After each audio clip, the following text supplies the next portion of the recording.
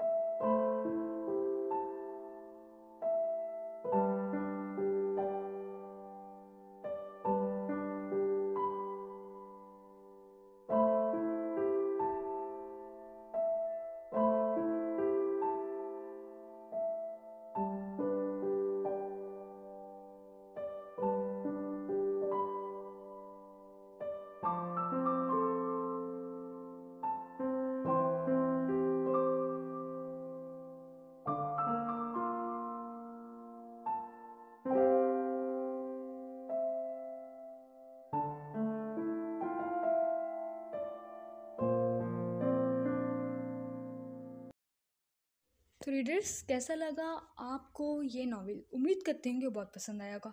Comment section में अपने राय का इजहार ज़रूर कीजिएगा। वीडियो अच्छी लगी तो वीडियो को लाइक और चैनल को सब्सक्राइब ज़रूर कीजिएगा, ताकि आपको इसी तरह हमारे चैनल पर मज़े मज़ेदार नावल पढ़ने को मिले। बहुत जल्द मैं एक नया नावल लेकर हाजिर होंगी। तब तक के लिए मुझे दीजिए इजाज़त। दुआओं में याद रखिएगा। अल्लाह